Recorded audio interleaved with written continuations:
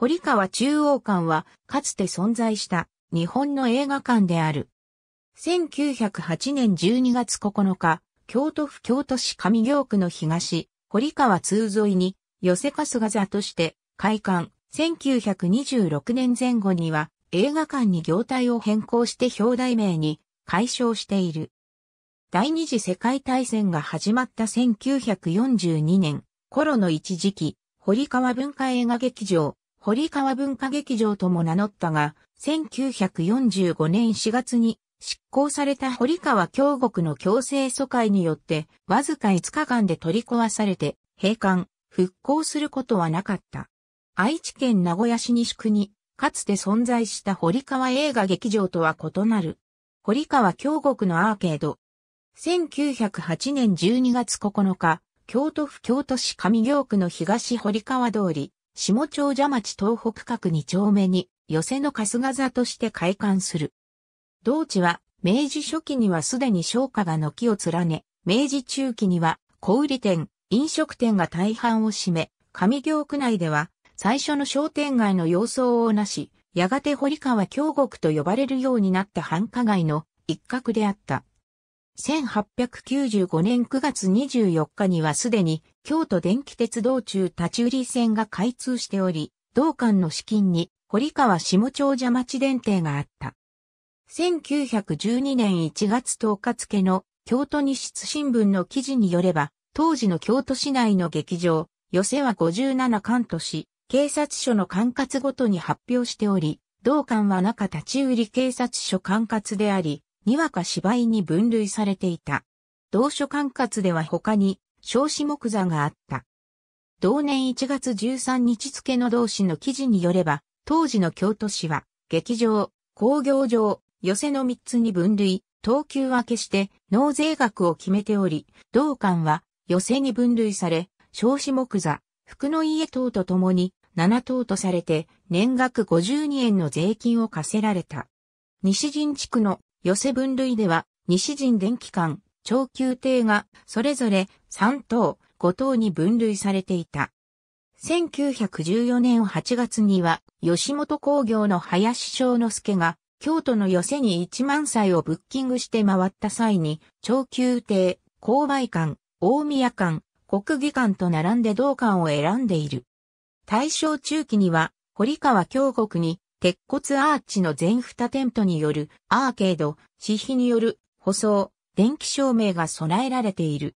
1926年前後の時期に映画館に業態を変更し、堀川中央館と解消する。大正末年に堀川京国に開館した寄せである永楽館が追って映画館になり時和館と解消している。これによって堀川京国の映画館は2館になった。1927年12月23日付の大阪朝日新聞京都版記事によれば、京都府監督課建築係の劇場、活動写真館、寄せの建築の調査を行った結果として、同館はその使用部に多少の補修を要すると指摘された。昭和初期に京都の市街地を精力的に紹介した大京都社の西村善七郎はその著書の大京都において、市場通りの旅町、烏丸通、寺町通、三条通り、河原町通り、そして西陣京国、大宮通、七条通りと並べて、同館が存在した堀川、京国を京都市内の繁華街として挙げている。当時の同館の経営は、当時市内に中央館、二部館、南大聖座、長久館を経営していた寺田亀太郎の個人経営であり、支配人は中内、青道、工業系統は東和キネマ及び輸入映画の自由工業、観客定員数は500名であった。1930年になると支配人は福西留夫、工業系統は東和キネマ及び河合映画制作者の作品を扱った。福西留夫は戦後新東方の営業畑に所属した人物である。強制疎開後の堀川、京国、堀川中央館は戦後も復興されず、道路時期になった。第二次世界大戦が始まり、戦時統制が敷かれ、1942年、日本におけるすべての映画が同年2月1日に設立された社団法人映画配給者の配給になり、映画館の経営母体に関わらずすべての映画館が、紅系、白系の2系統に組み入れられるが、映画年間昭和17年版には、同館の工業系統については記述されていない。当時の同館の経営は、磯住彦一が支配人を兼ねた個人経営、観客定員数は162名と大幅に縮小されていた。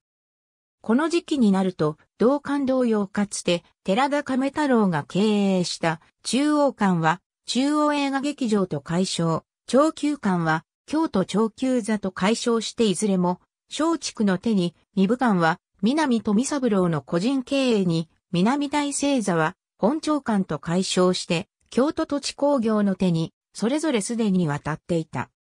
同資料には、堀川文化映画劇場、映画年間昭和18年版には、堀川文化劇場と記載されているが、1944年11月2日付の大阪朝日新聞京都版には、堀川中央館と記されている。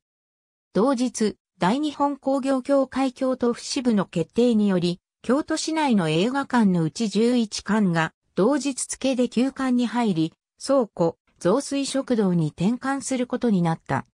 この時同館は、同紙面で同じ堀川に分類された宝座、三条館と共に休館対象となり、同日付で休館した。三条館は戦後、復興している。